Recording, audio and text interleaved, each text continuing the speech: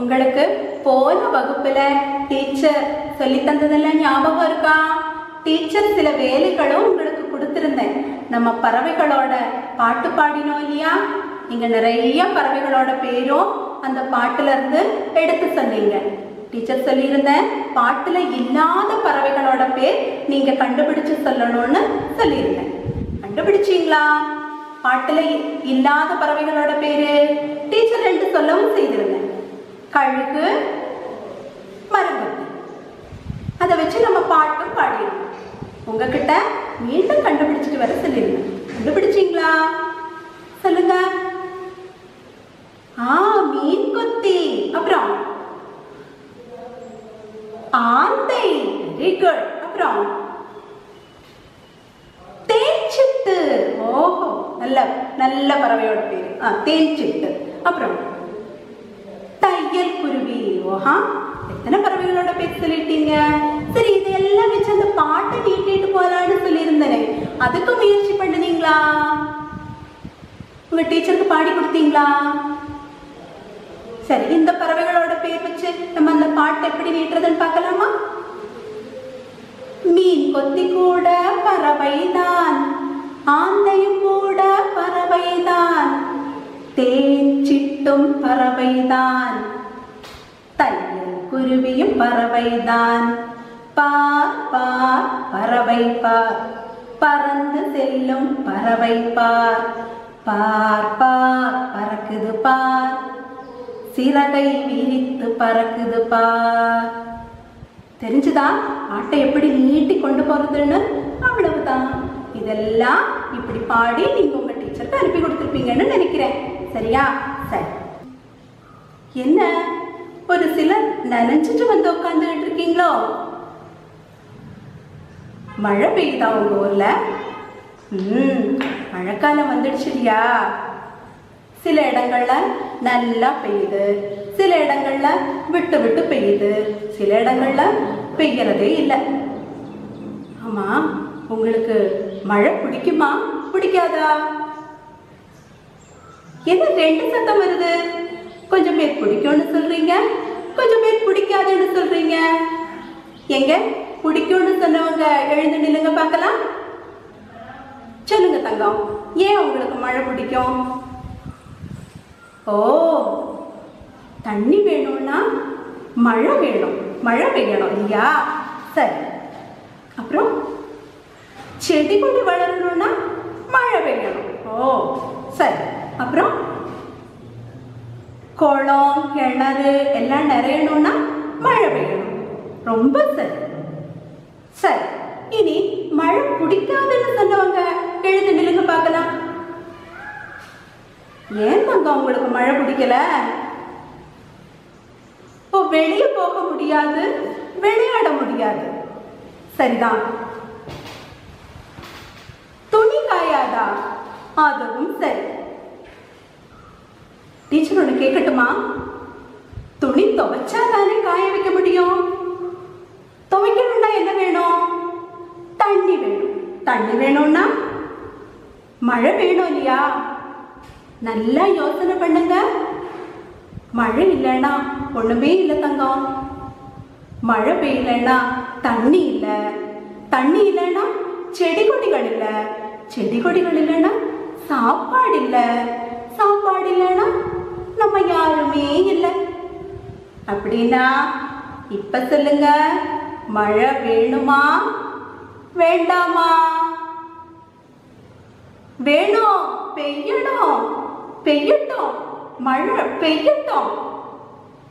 பெய்யட்டும் மழை பெய்யட்டும் படபட என மழை பெய்யட்டும். பாடலாமா? பாட்டு பாடலாமா? சரி. என்னோட சேர்ந்து நீங்களும் பாடணும். தயாரா? சரி நில்லுங்க. பெய்யட்டும் மழை பெய்யட்டும். படபட என மழை பெய்யட்டும்.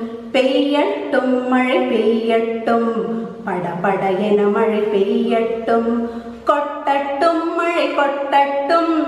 குளமும் குட்டையும் நிறையட்டும். கொட்டட்டும் மழை கொட்டட்டும் குளமும் குட்டை நிறையட்டும் ஆற்றில் வெள்ளம் பெருகட்டும் மீன்கள் துள்ளி குதிக்கட்டும் ஆற்றில் வெள்ளம் பெருகட்டும் மீன்கள் துள்ளி குதிக்கட்டும் தவளை சத்தம் கேட்கட்டும் தாமரை பூக்கள் மலரட்டும் தவளை சத்தம் கேட்கட்டும் தாமரை பூக்கள் வாய்க்கால் நிறைந்து வழியட்டும். வயலில் பசுமை பொங்கட்டும். வாய்க்கால் நிறைந்து வழியட்டும். வயலில் பசுமை பொங்கட்டும். பெய்யட்டும் மழை பெய்யட்டும். படபட என மழை பெய்யட்டும். பெய்யட்டும் மழை பெய்யட்டும். படபட என மழை பெய்யட்டும் கொட்டட்டும் மழை கொட்டட்டும் குளமும் குட்டையும் நிறையட்டும். கொட்டட்டும் மழை கொட்டட்டும் குளமும் குட்டையும் நிறையட்டும். ஆற்றில் வெள்ளம் பெருகட்டும் மீன்கள் துள்ளி குதிக்கட்டும். ஆற்றில் வெள்ளம் பெருகட்டும் மீன்கள் துள்ளி குதிக்கட்டும். தவளை சத்தம் கேட்கட்டும் தாமரை பூக்கள் மலரட்டும் தவளை சத்தம் கேட்கட்டும் தாமரை பூக்கள் மலரட்டும் வாய்க்கால் நிறைந்து வழியட்டும் வயலில் பசுமை பொங்கட்டும் வாய்க்கால் நிறைந்து வழியட்டும் வயலில் பசுமை பொங்கட்டும் பெய்யட்டும் மழை பெய்யட்டும் படபட என மழை பெய்யட்டும் படபட என மழை பெய்யட்டும் படபட மழை பெய்யட்டும். பாட்டு பிடிச்சிருக்கா? எல்லாரும் நல்லா பாடுவீங்க. பாராட்டுக்கள். சரியா? சரி. இனி மழை காலத்துல நம்ம எல்லாரும் ஒரு பொருளை வாங்கணும். என்ன அது? மழை வந்ததுன்னா வெளியே போகணும்னா கட்டாயம் அது நம்ம கையில் எடுத்துக்குவோம். என்ன? ஆ கொடை.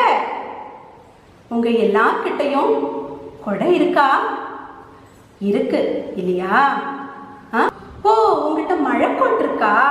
ஆ அதுவும் நல்லதுதான். மழைக்கோட்டு கொட்டிருந்தா எங்கேயுமே நனையாது இல்லையா? பைக்கில் போகிறவங்கெல்லாம் கட்டாயம் மழைக்கோட்டு வச்சுருப்பாங்க. அப்படித்தானே? சரி. முதல்ல எல்லாம் நம்ம கிட்ட இருக்கிற கொடையெல்லாம் கருப்பு கலரில் தான் இருந்தது. ஆனால் இப்போ பலவித நிறங்கள்ல பலவிதமான டிசைன்கள்ல எத்தனை எத்தனை விதமான கொடைகள் அப்பப்பா சொல்லவே முடியாது. குழந்தைங்க கையிலையோ கலர் கலரா விதவிதமா குழந்தைங்க கொடை பிடிச்சிட்டு வர்றதை பார்க்க எவ்வளவு அழகு தெரியுமா? நம்ம முத்துக்கிட்டையும் ஒரு கொடை இருக்கு. ஆனா அது சாதாரண கொடை இல்ல மந்திர குடை. ஓ யார் அந்த முத்துன்னு கேக்குறீங்களா? முத்து எங்க கிராமத்துல இருக்கக்கூடிய ஒரு பையன். அவன் ரொம்ப நல்ல பையன். அவங்க அப்பாவுக்கு கூலி வேலை தான். கொஞ்சம் ஏழ்மையான குடும்பம். ஆனா நல்ல பையன். போன வருஷம்தான் முத்துவோட அப்பா அவனை பள்ளிக்கூடத்துல சேர்த்து விட்டாரு. புத்தகம் சீருடை எல்லாமே இலவசமா கிடைச்சது. முத்துவுக்கு படிக்கணும்னு கொள்ள ஆசை.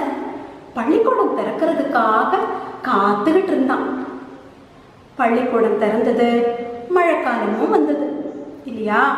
மழைக்காலத்துல தானே பள்ளிக்கூடம் திறக்கும் போது சாதாரணமா மழை பெய்யும். அப்படித்தானே? அப்படி மழையும் பெய்ய தொடங்குச்சு. ஸ்கூல்ல இருக்கிற எல்லா குழந்தைகளும் நல்ல கலர் குடைகளையும் மழை கோட்டுகளும் எல்லாம் போட்டுக்கிட்டு வந்தாங்க. ஆனா பாவம் முத்துக்கு தான் கொடை இல்லை என்ன செய்யறது? முத்து அம்மா கிட்ட சொன்னான் அம்மா எனக்கு ஒரு கொடை வாங்கி கொடுங்கம்மா அப்படின்னு கேட்டான். மழை ஆனதுனால அப்பாவுக்கு சரியா வேலையே இல்லடா தங்கம். கொஞ்சம் பொறு எப்படியாவது அம்மா உனக்கு கொஞ்ச நாள்ல ஒரு கொடை வாங்கி தரேன் அப்படின்னு சொன்னாங்க. சரிம்மா அப்படின்ட்டு முத்து ஸ்கூலுக்கு போக தொடங்கினான். ஒரு நாள் முத்து ஸ்கூலுக்கு போக தொடங்கின உடனே வீட்டை விட்டு இறங்கும் முன்னமே பயங்கரமான மழை. கொட்ட தொடங்கிருச்சு. என்ன செய்யறதுன்னு தெரியாம முத்து முழிச்சுக்கிட்டு நின்னான். அப்ப அம்மா சொன்னாங்க முற்றத்துல இருந்த ஒரு வாழை மரத்தல போய் ஒரு இலைய வெட்டி டே தங்கம் இதை பிடிச்சிட்டு போடா அப்படின்னு சொன்னாங்க. அம்மா இலையா? அப்படின்னு முத்து அதிர்ச்சியோட கேட்டான். ஆமாப்பா நாங்கள்லாம் படிக்கிற காலத்தில் இந்த வாழை இலை சேம்பலை இந்த இலைகளை எல்லாம் குடிச்சிட்டு தான் போவோம். என்னம்மா? அப்படின்னு முத்து சிணுங்கினான் சரி உனக்கு வேண்டாம்னா விட்டுரு அப்படின்னு இன்னைக்கு நீ ஸ்கூலுக்கு போக வேண்டாம் அப்படின்னு சொன்னாங்க அம்மா. ஐயோ அது முடியாதும்மா அப்படின்னு சொல்லிட்டு முத்து வேகமா அந்த வாழை இலையை எடுத்து தலைமையில வச்சுக்கிட்டு நடக்க தொடங்கினான். ஸ்கூலுக்கு போனான். ஸ்கூலுக்கு போனதும் இலைய இலைய தலையில வச்சுக்கிட்டு வர்ற முத்துவை பார்த்து சில சுட்டி பசங்க கேலி பண்ணிட்டாங்க. கை கொட்டி சிரிச்சாங்க. முத்துவுக்கு அழுக வந்தது. மறுநாள் முத்து மழைக்கு முன்னாலே ஸ்கூலுக்கு போயிடணும்னு சொல்லிட்டு நேரத்துல கிளம்பி போயிட்டான். ஆனா முத்துவோட கஷ்டகாலம் பாதி வழி சேர்ந்த உடனே மேகம் கருத்தது. மின்னல் மின்னுச்சு இடி இடிச்சது காத்து வீசுச்சு. மழை சட கொட்ட தொடங்கிருச்சு.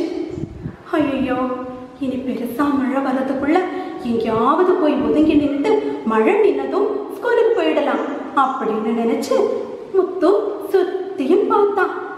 அதான் அங்க ஒரு குடிசை அங்க போய் நிக்கலாம் அப்படின்னு சொல்லிட்டு வேகமா போனான். குடிசைக்கு பக்கத்துல ஒதுங்கி நின்னான். நல்லா பெய்ய தொடங்கிடுச்சு அப்போ குடிசைக்குள்ள இருந்து ஒரு இருமல் சத்தம் கேட்டது. முத்து குடிசைக்குள்ள எட்டி பார்த்தான். அங்க ஒரு பாட்டி படுத்திருந்தாங்க. தண்ணி தண்ணி. பாட்டி முனகர சத்தம் கேட்டது. முத்துவுக்கு வருத்தமா போச்சு. உடனே வேகமா உள்ள போய் தன்னோட பைக்குள்ள இருந்து தண்ணி பாட்டிலை எடுத்து பாட்டி கிட்ட நீட்டினான். பாட்டி இந்தாங்க தண்ணி குடிங்க அப்படின்னு சொன்னான். பாட்டி மெதுவா எந்திரிச்சு முத்துக்கிட்ட தண்ணிய வாங்கி குடிச்சாங்க. அவனை வாஞ்சையோட பார்த்தாங்க.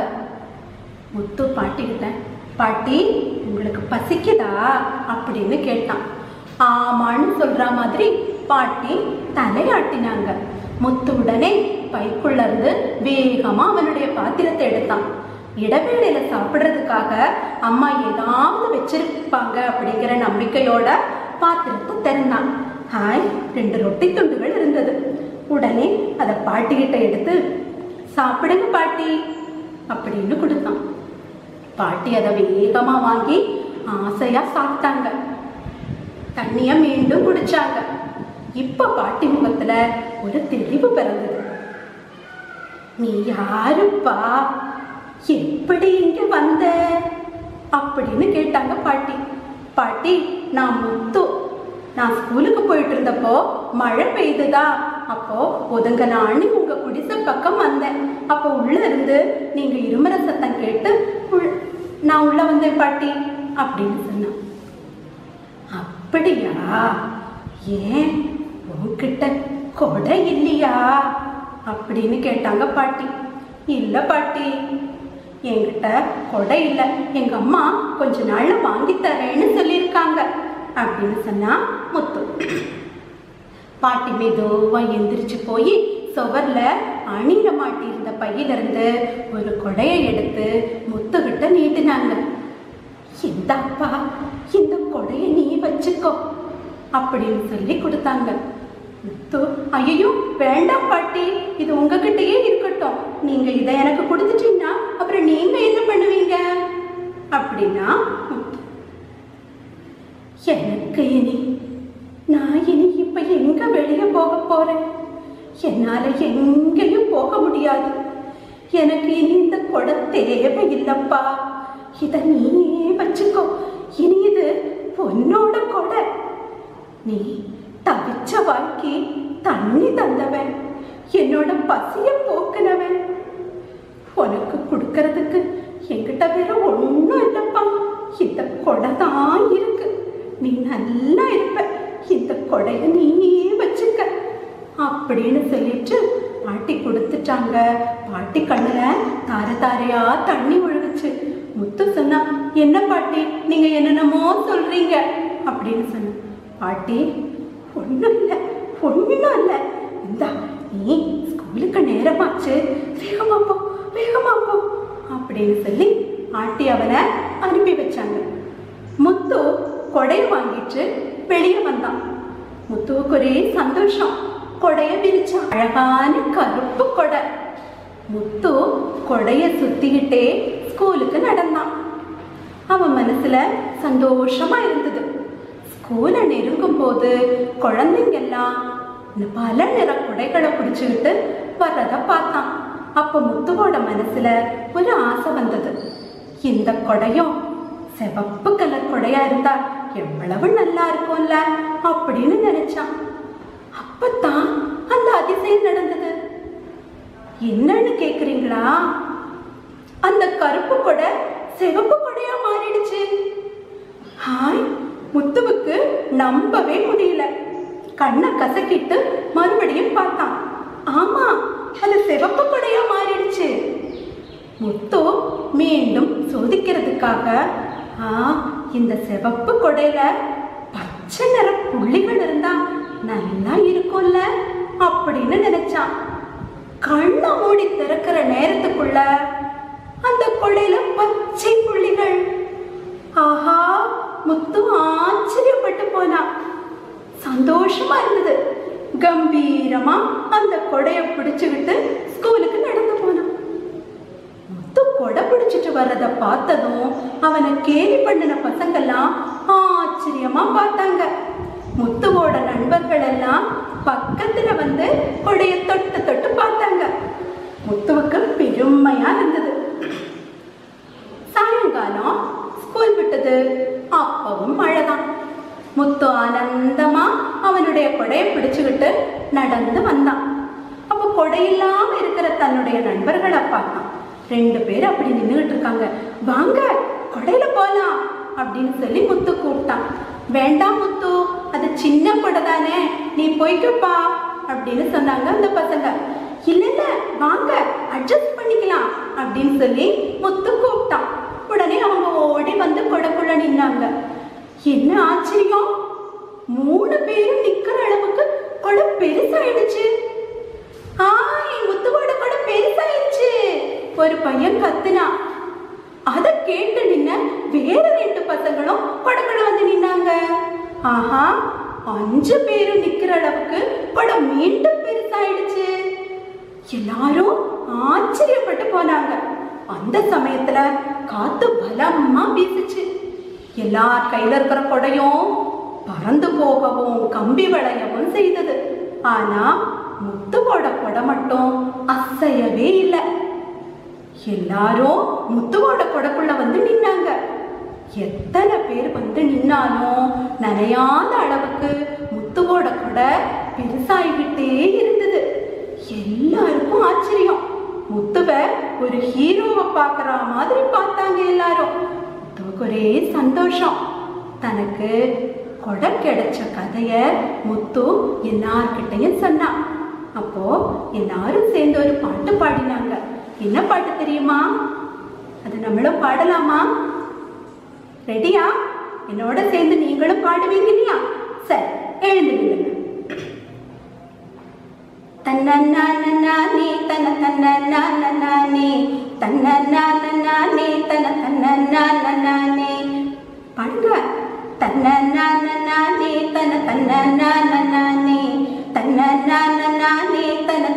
தன தன்னே பாட்டி தந்த குடையுது மாயாஜால குடையுது பாட்டி தந்த குடையுது மாயாஜால குடையுது தன்ன நானே தன தன்ன நானே தன்ன நானே தன தன்ன நானே வண்ணம் மாறு குடையுது பெரியதாக குடையுது வண்ணம் மாறு குடையுது பெரியதாக குடையுது தன்ன நானே தன தன்ன நானே தன்ன நானே தன தன்ன நானே பாட்டி தந்த குடையுது பாட்டி தந்த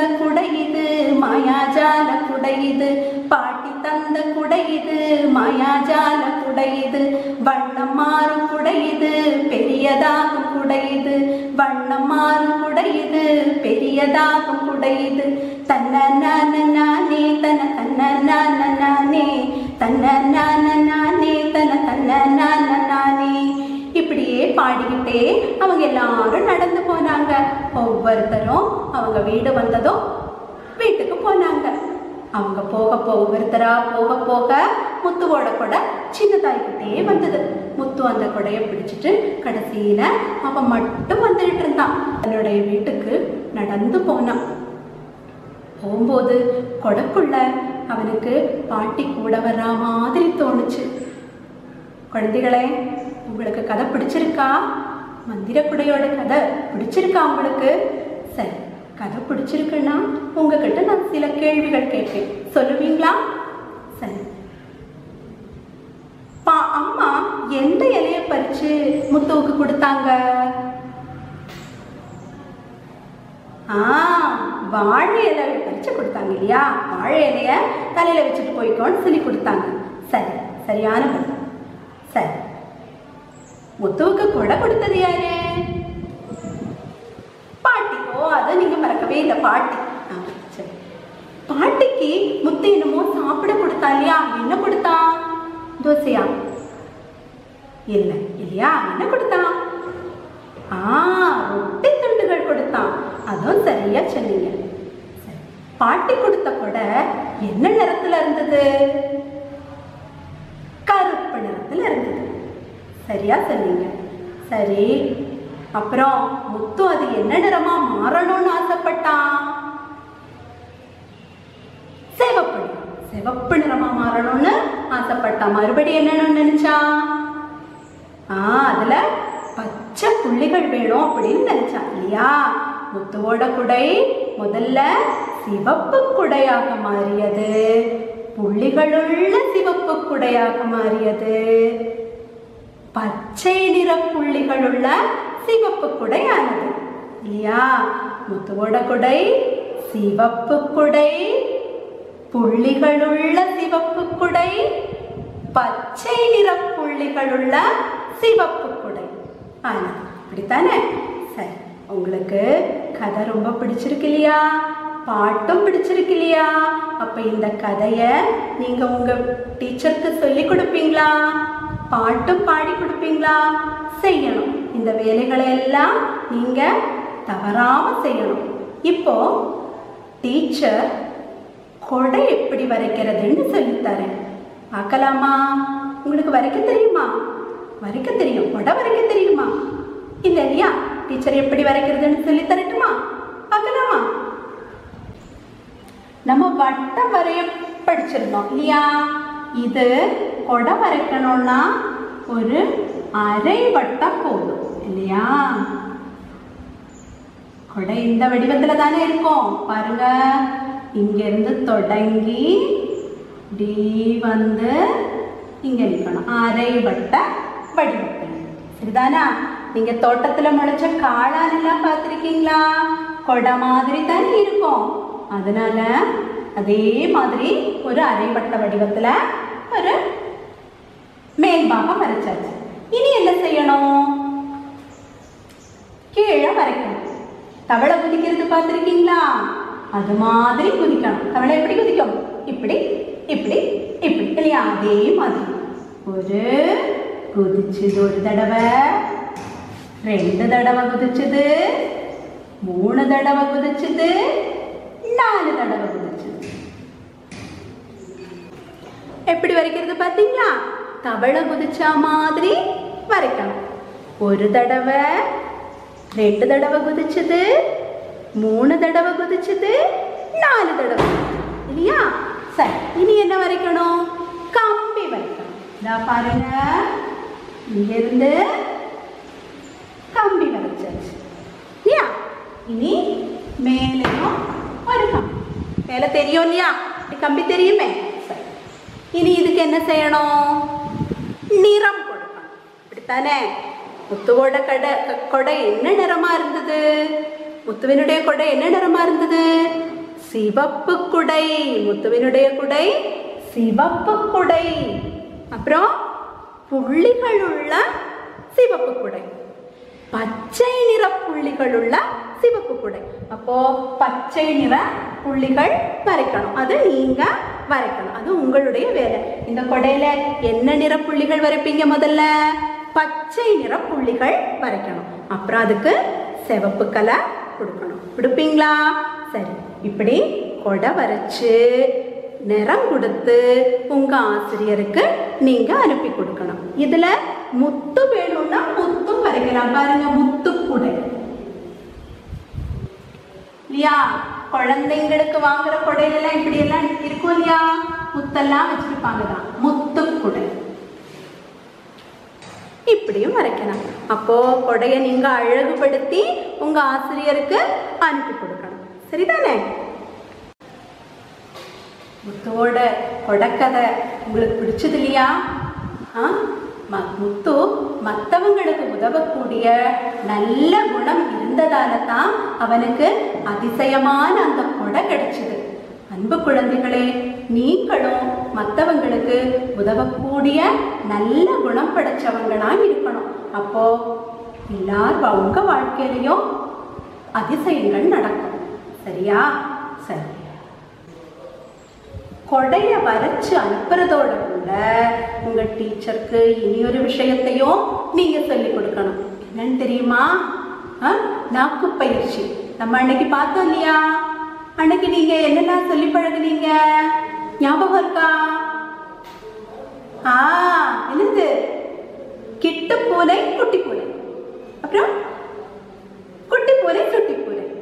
கிட்டு பூனை குட்டி பூனை. கிட்டு பூனை குட்டி பூனை குட்டி பூனை சுட்டி பூனை இல்லையா? சொல்லி பழகுனீங்களா? பழகி உங்க ஆசிரியருக்கு சொல்லி கொடுத்தீங்களா? இன்னைக்கு நம்ம ஒரு நாக்கு பயிற்சிக்கு ஒரு வாக்கியம் படிக்கலாம். என்ன தெரியுமா? ஒரு துளி சிறு துளி பெருவெள்ளம்.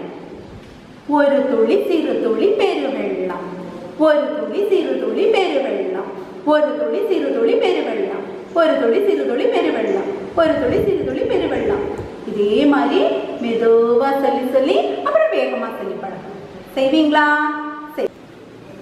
சரி அடுத்த வகுப்புல இன்னும் நல்ல கதைகளோட உங்களை நான் சந்திக்கிறேன். பாய்